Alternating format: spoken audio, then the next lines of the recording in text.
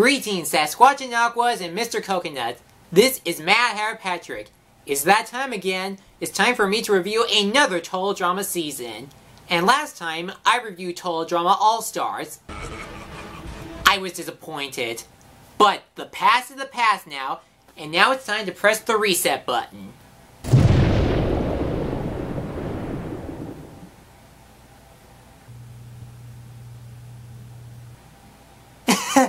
Sorry, wrong controller. That's not important right now. It's for a family barbecue. Ah, here's the real deal. And go! And now we come to Total Drama Season 6. Wait, it's not Season 6? Then what season is this? Season 5, Part 2? So is this continuing All-Stars? Well, no, there's a new cast and even a new island. How is this a tie-in to Season 5? Okay, this production history makes no sense because this season, or whatever, could have been Season 6. It's simple, and it will make the career of the show one step closer to his 10 seasons goal. But I'm not here to decide if this is Season 5 or 6. I'm here to talk about the show. Welcome to another episode of the Wonder Reviews. Let's blow stuff up. This is Total Drama Pahkitew Island. Hey, remember in All Stars where they tried to focus on this one character who has an evil personality in his head? Well, forget that, because Pahkitew Island is going back to the main and real focus of the entire show, the competition.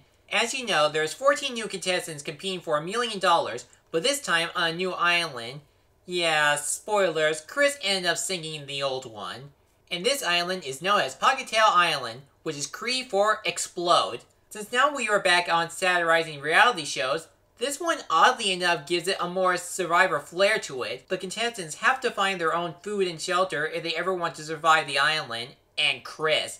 With no cabins, mess halls, or showers, this one actually takes it to a whole new level. Another thing that's good is obviously the interaction between the new cast because we get to see them form allies and enemies and try to pursue their dreams if they win the million. There's even a big twist on the island itself, which I won't spoil here.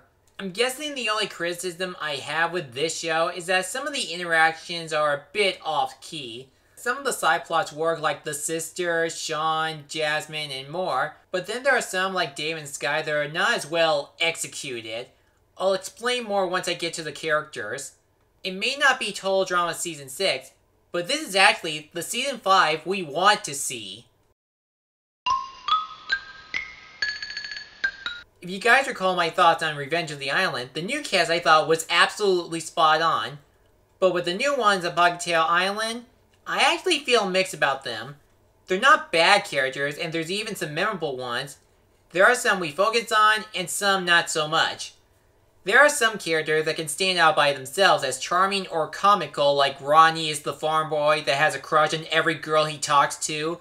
Topher is the huge Chris fan that wants to be like him. Scarlett is the know-it-all genius, Beardo is the beatboxer that makes a lot of sound effects, and Ella is the princess that loves to sing even though Chris forbids her not to. But then there are a few characters that are just not funny. Like, there's this little boy named Max who thinks he's an evil villain, but he's nothing more than a comic relief. And I'm not gonna lie, this guy is obnoxious and annoying. I didn't crack a smile while he's on screen. He just praises himself thinking he's this season's villain and gives Scarlett a hard time. But the only thing you can describe him is that he acts more like Bling Bling Boy from Johnny Test. But at least he's not the worst character of this season. Oh no, that would be Leonard, the LARPer stereotype who thinks he's a wizard but ends up wasting the game with his useless spells that don't work. With Sugar, on the other hand, she's actually more of a villain in this show since she's jealous of Ella, thinking she's stealing her spotlight, but Ella wants to be friends with her. But Sugar only cares about herself and her look, and she is actually a competition beast. Then there are the sisters, Amy and Sammy. Uh, it's Sammy? Sorry, force a habit. These two are actually interesting because not only do we have two relatives competing together, there's an interesting side plot where Sammy tries to stand up against her evil sister. And now comes the relationships. One that's good and the other bad. Starting with Dave, he's basically a ripoff of Mike from season 4, but lacks any personality or personalities. Yeah, the show tries to make him interesting where he's determined to make Sky his girlfriend, but this one passed on as mood swings. You'll never know if Sky starts loving Dave, but then suddenly she'll neglect and say no to him just so she can focus on the game. And then there's Shawn and Jasmine's relationship. These two are freaking awesome. Jasmine is a strong Australian girl, and Shawn is a paranoid dude that's defending himself against zombies. Both of them are survival experts, and they're one of my personal favorites on Pahkitew Island.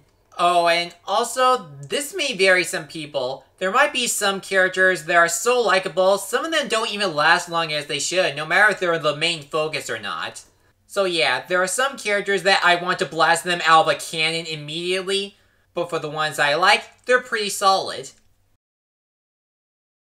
You think that now we are going to a new island, it means everything will be the same, just with a different color scheme. Not exactly. First, the designs of the characters are actually nice. There can be some copy and paste looks on previous Total Drama characters, and you can see it more on Dave and Sky, but they're okay. The character animation is pretty simplistic on the teenagers, making them more realistic, while the rest of the animals are pretty much depicting their nature or throw in some cartoony moments like on the bears, the monkeys, and this one chicken. The backgrounds are actually well made. I know it looks mostly like an island filled with trees, but unlike Camp Wawanakwa, Pahkitew Island has more diversity than the old island. It even takes us to unique places like the treehouse, the cave, and the island truly stands out once its twist is revealed. The challenges are still enjoyable with their suspenseful outcomes like in Truth or Scares, while the rest like the Grease Challenge and the Monkey Challenge are pretty much a race to the finish. Put braces on a beaver! So no wonder Chris chose this island. The animation brings a lot of excitement. It may not be Revenge of the Island, but at least it's not All-Stars. Total Drama Pahkitew Island may not be great with a few weak and annoying characters, but thanks to the animation, the rest of the likable characters, and keeping the competition as the major focus, this one is actually enjoyable. So obviously, if you're a Total Drama fan, go check it out. But if you're looking for a show that has a more Survivor X feel to it, this is worth watching.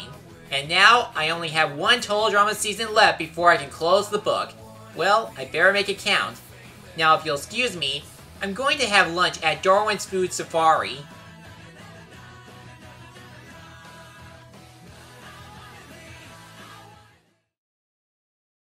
Thank you for watching my video. Feel free to like, comment, and subscribe me to share your thoughts.